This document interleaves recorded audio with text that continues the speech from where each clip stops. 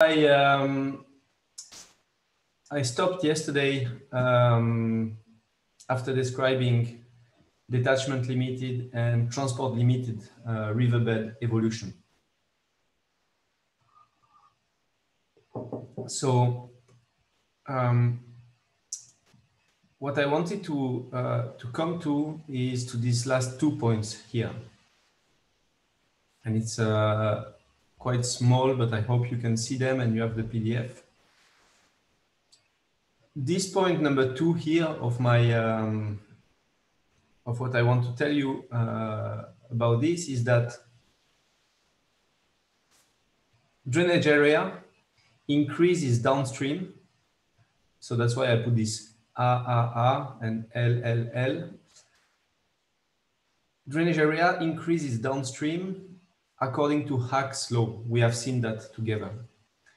Hack's law states that length of the basin, so in a way that's your distance along X as you travel from up to towards the, the from the source to the to the outlet, is proportional to a coefficient B times drainage area above the, the point you're looking at, exponent C. Okay, so that's Hack's coefficient and Hack's exponent. And we have seen a very general rule from uh, the big compilation by uh, Dave Montgomery and Bill Dietrich that length equals 1.7 almost square root of 3 times a exponent 0.5. So it's the square root of drainage area.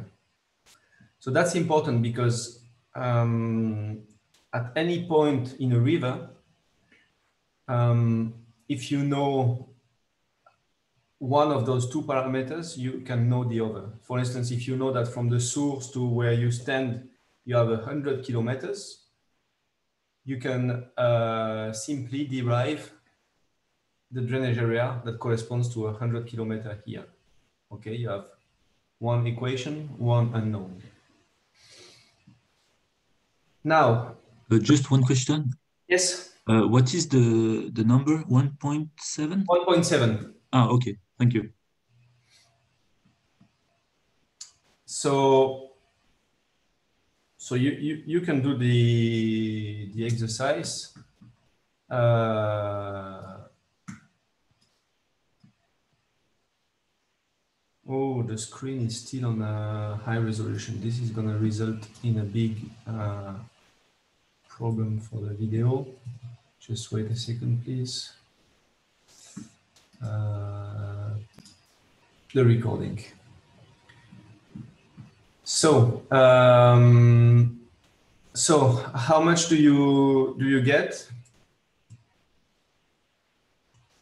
Did you J'ai trouvé, mais je ne suis pas du tout sûr, 3460 mètres carrés. Que Alors, pas des mètres carrés, probablement des kilomètres carrés, puisque la rivière ah. 100 km. Ah, ok, c'était 100 km. ok, ok. Bah, ouais, du coup, euh, mais je ne suis pas sûr. Hein. 3460. I got the same. Ok. «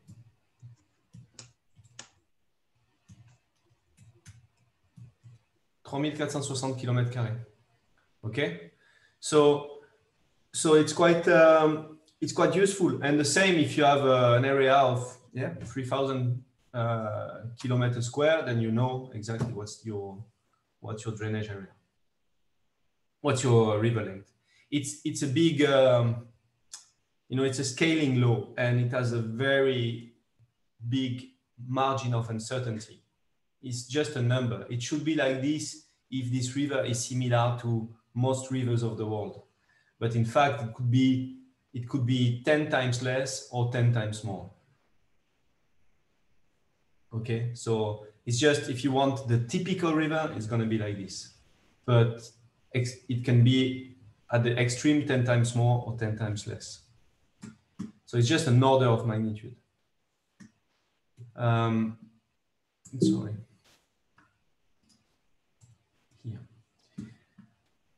Okay, now you remember we spoke about steady state. So I'm on point uh, number three here. We spoke about steady state and steady state implies that uplift equals erosion. So dz over dt, which is equal to u uplift minus erosion. You remember the, the diagram, uplift minus erosion equals dz over dt. At steady state, dz over dt equals zero because u and e, uplift and erosion, are equal. Okay, so here, the little diagram I have is a river longitudinal profile from source to outlet, something here. If my landscape is at steady state, I have uplift, you know, this, the, the rocks come up because of tectonic processes and erosion in the river brings them, brings them down, erodes, erode them. So the river is eroding and everywhere along the river, U uplift and erosion, let's say if, if, if uplift is everywhere the same, let's say I have a mass uplift, my mountain has a, has an uplift rate, which is the same everywhere. It's like a block uplift. Then erosion has to be the same everywhere to compensate for uplift such that we are in a steady state situation. So I can write erosion equals uplift because u minus e equals zero equals KAMSN according to this number one part of the of the of our reasoning here that erosion is proportional to stream power. And so from this, you have a relationship between drainage area, slope of the river, and uplift.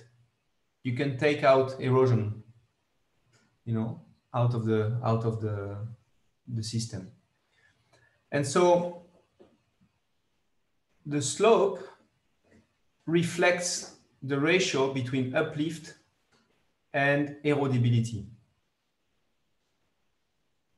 And you can express, you can solve that and, and write S, the slope, is equal to U over K with exponents that I can't uh, even see here, but I think it's 1 over N times A m over n. Okay? Yes. And so what this tells you is that um, I mean, this is a constant, u over k exponent 1 over n because n is a constant, k is a constant, and uplift is a constant. Okay? But A increases downstream according to Hack's law. When you are here, you have a drainage area A. When you are here, you have a drainage area middle, uh, a bit bigger A, A, bigger A, bigger drainage area. And here you have a much bigger drainage area. So as you go downstream, drainage area increases. And M over N,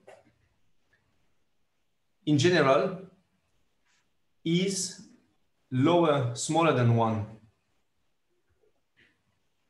Okay? So, um, sorry, it's not smaller than one. Uh, M over N, whatever M over N, I'm not speaking about the ratio m over n. But um, to keep this equation balanced, when a increases, I need to decrease slope.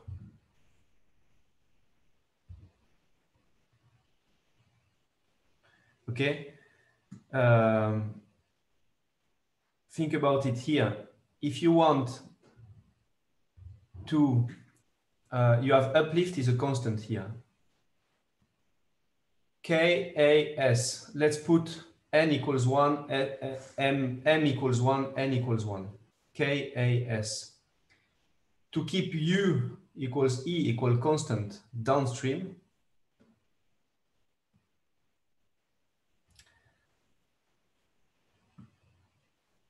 when I increase A, I need to decrease S. Let's say I double A, I need to um, I need to uh, halve S if I want to keep the same value on that on that side of the equation.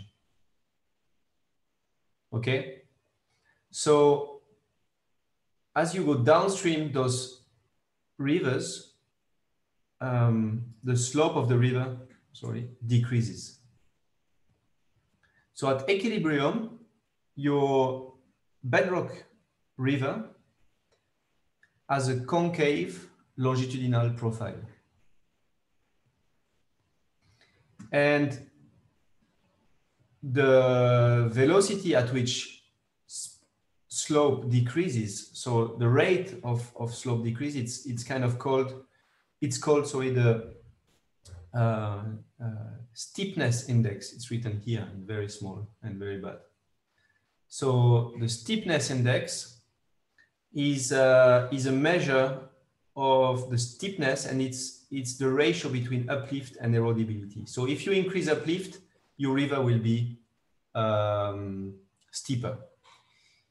Same thing, if your rocks become, for the same uplift, for the same um, erosional uh, power and the same size of a river, let's say a river which is 20 kilometers long and has a drainage area A, if you increase uplift, your equilibrium profile will be steeper, will go higher up, elevation will increase.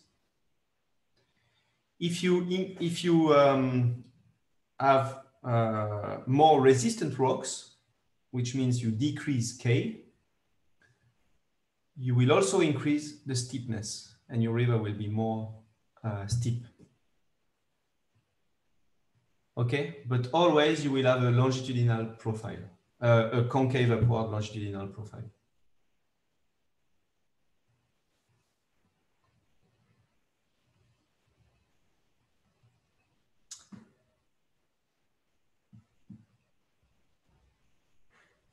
Okay.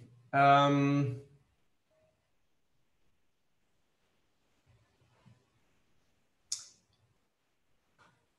on the contrary, for an alluvial river profile, there is not much change in drainage area downstream. Sometimes you can even have a long river with no change in drainage area. Okay. And so in this case, um, in this case, you have uh, most most uh, alluvial rivers. Uh, they have uh, quite a linear profile. However, every time there is a junction, like here, you increase suddenly the drainage area above this point, and therefore your slope should also decrease. So on the long scale, you should also have a longitudinal uh, concave profile. But when you reach um, the basin, often your system becomes distributive and not anymore aggregative. In the mountain and here, your rivers, they join downstream. So as you go downstream a river, you aggregate more and more drainage area. At some point, when you are very uh, in the in the downstream plains, and your your river before reaching the, the the sea and also at the sea in the delta, typically, the river becomes distributive. So it means that the river splits into different branches. So it's the exact contrary of what happens in the upstream area is the diagram that we've seen with uh, uh, that Schumm uh, drew here. Um,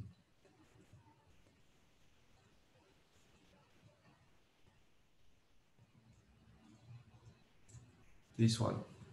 In the sediment production, we have aggregation of streams.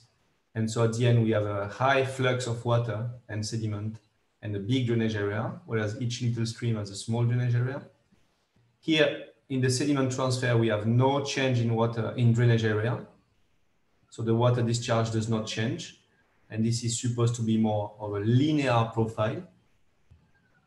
Okay, the slope has no reason to change, no major reason to change, but there are effects like grain size, sediment flux, which can modify the slope. In general, it still decreases a little bit.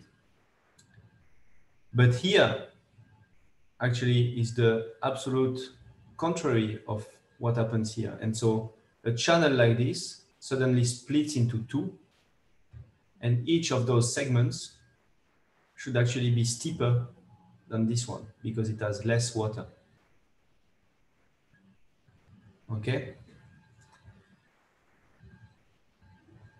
So, so that's um, that's a frame to have in mind when you look at uh, tributary and distributary systems. Okay, I, I come back to oops, to here. Okay, now what I want to uh, speak about, if I come back to the plan that we outlined at the beginning, which is this one, and I should modify it, which I will do now. Um, I want to call this signals.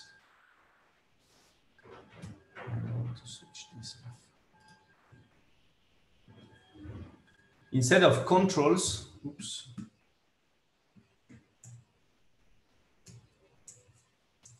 Instead of controls as I, had here, which were tectonics, climate, and autogenic processes, I wrote signals. Okay, so we are going to look at tectonics, climate, and autogenic signals, which are uh, signals here in the in the sense that these um, phenomena, these factors, they uh, tectonics and climate. You can you can uh, consider them as external forces. Sometimes you will hear the term forcing or allogenic, which is the opposite of autogenic, allo like in allochthonous. So they, um, they are external forces acting on the sedimentary system.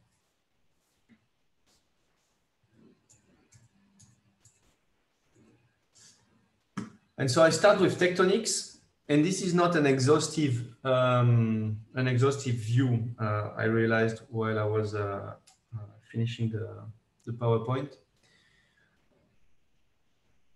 But you um,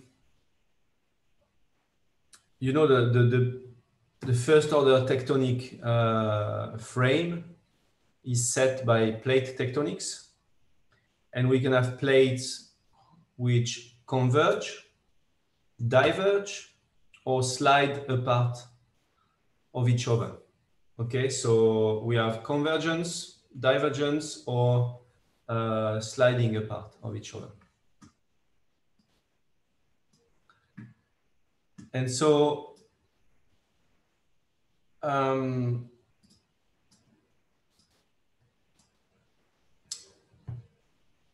here I have only put convergence, divergence, and another type of uh, tectonics. Why I didn't put the sliding apart um, uh, configuration is because in general, when, when two plates slide past each other, uh, if they if it's a pure sliding apart, sliding uh, it's, if it's a pure uh, motion of strike slip, um, then uh, there's not much happening. Okay, the fault separating the, the, the, the localizing, localized zone of deformation is very steep, maybe even vertical. and so there is not much happening in terms of, uh, of deformation except, except a, a, very large offset and very fast uh, tectonic uh, slip rates. But as soon as you have little, uh, little um, um, uh, asperities, uh, little, a bit of roughness along the system, for instance, often you, you often you have a, um, along your fault, you have a, a, step. So if this happens, then you create a hole. Okay, I'm looking from, you're looking from above. Or you create a pressure zone. And so basically you partition your motion into convergent and divergent modes.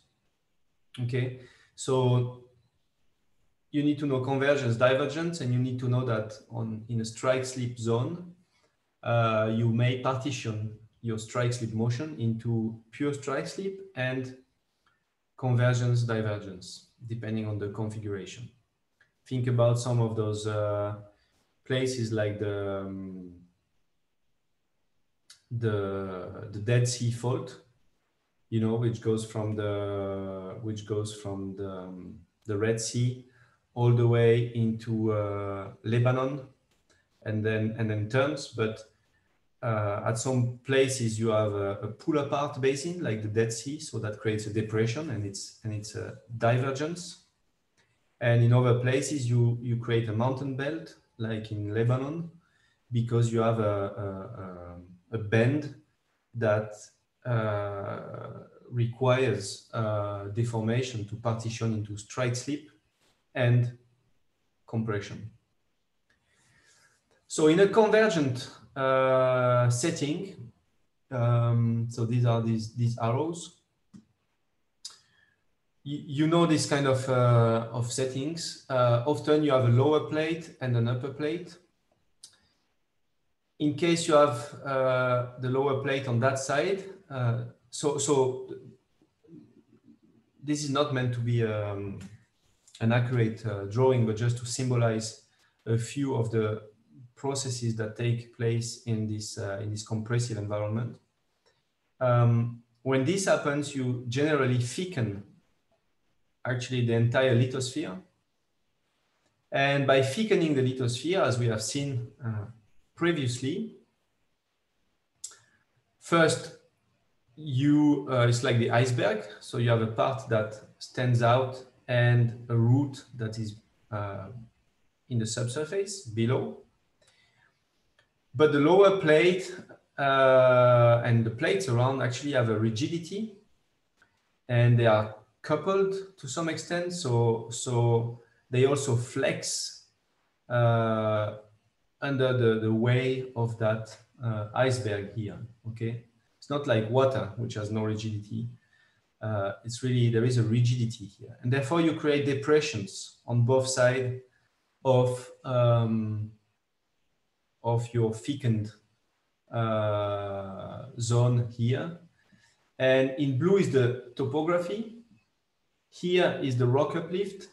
Uh, I, I, I, took this um, drawing from, from the, the Willett paper uh, showing the, the, the, influence of, of erosion on, on uh, orogen. And so this is meant to, to show the uh, motion of particles.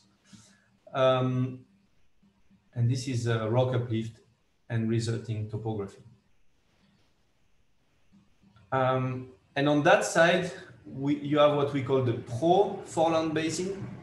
And on that side, on the upper plate, you have the retro-foreland basin. Okay. And what I want to uh, highlight here is the kind of scale of what we're speaking about. Okay, and there, there may be sometimes more, sometimes less, but in general, again, uh, it cannot be a couple of kilometers or even 10 kilometers wide because you do not flex the entire lithosphere uh, to make just a small zone okay? Uh, in general we are speaking about that those kind of, of uh, spatial uh, scales. Here on that uh, diagram, what I show is the time evolution of different things, different aspects. Um, first, the subsidence, and I put subsidence, flexural subsidence, and overloads, because they are they are often overloads because this is considered as a load responsible for the flexure. But very often, people who study this uh, come to the conclusion that the observed load is not sufficient to explain the observed subsidence. So it seems that there is additional forces pushing, uh, pulling down the mountains, okay, and pulling down the plate. Uh, and there is a, a variety of, of possibilities. But the general um, pattern of subsidence evolution with time is that of a relatively slow subsidence at the beginning, increasing then uh, quite fast, and then and then at the end of the evolution of a mountain belt, sometimes, or not sometimes, but um, often, convergence stops. This could happen when you have a real suture, but not always. But when the two plates have, have collided so much that you have a, a cicatrice, and that's not that's only that's now one plate. Okay, there is no reason to continue, but sometimes it continues. Uh, but if if it stops, like it did in, in many mountain ranges uh, worldwide, um, you continue erosion, and you are going to re-equilibrate the uh, thickness of the lithosphere and therefore you can expect a rebound and erosion. Okay, so this is following a point, you know, here. So for instance, a point which is here at the beginning was here and it's being dragged down.